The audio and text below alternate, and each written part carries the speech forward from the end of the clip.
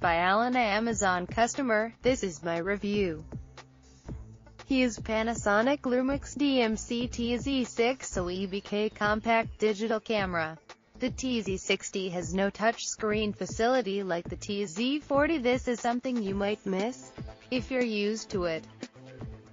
You have to manually switch between the LCD display and electronic viewfinder. There's no automatic sensor.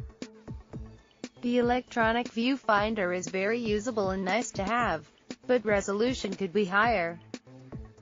Black. 18. 1 MP. 30x optical zoom.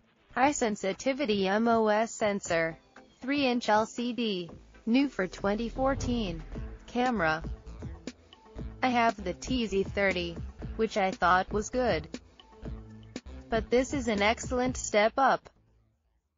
The viewfinder gives you that extra option in bright sunlight.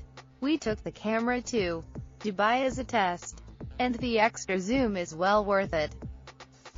Of course it has all the normal TZ features, so you won't go wrong with whatever you decide.